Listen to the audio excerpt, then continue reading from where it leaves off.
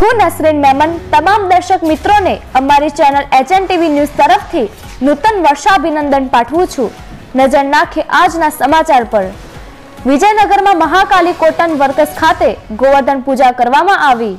બેસતા વર્ષના દિવસે ગોવર્ધન પૂજા કરવામાં આવે છે. ત્યારે વાત કરીએ વિજયનગરની તો વિજયનગરમાં પણ અમારી ચેનલના એડિટર રાહુલ શાહને ત્યાં ગોવર્ધન પૂજા કરવામાં આવી હતી. અને પૂજા વિધિ શાસ્ત્રી અજયકુમાર ભટ્ટ દ્વારા કરવામાં આવી હતી, જેમાં અમારી ચેનલના હેડ હર્ષદ કુમાર પણ ઉપસ્થિત રહ્યા હતા. દરેક લોકોના સ્વાસ્થ્ય નિરોગી રહે અને સ્વસ્થ રહે એ માટે ગોવર્ધન પૂજા કરવામાં આવી હતી. શાસ્ત્રી અજયભાઈ ભટ્ટને જણાવ્યા મુજબ, ગોવર્ધન પૂજા અથવા અન્નકૂટ પૂજા એ દિવાળીના બીજા દિવસે થાય છે. ગોવર્ધન પૂજા કારતક માસના શુક્લ પક્ષીની પ્રતિપદા તિથિએ કરવામાં આવે છે. આ વખતે આ તહેવાર પાંચ નવેમ્બરે ઉજવવામાં આવ્યો હતો. આ દિવસે ઘરના પશુ, ગાય, વાછરડા વગેરેની પૂજા કરવામાં આવે છે.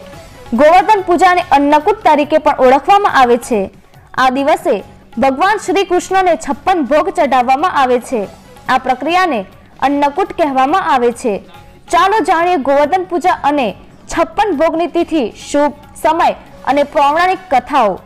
સવારે ભગવાન ગોવર્ધનની પૂજા કરવામાં આવે છે. આ દિવસે સૌ પ્રથમ ગાયની છાણમાંથી ગોવર્ધન પર્વત બનાવીને અન્ન, દૂધ, લાવા, મીઠાઈ વગેરે ચઢાવવામાં આવે છે.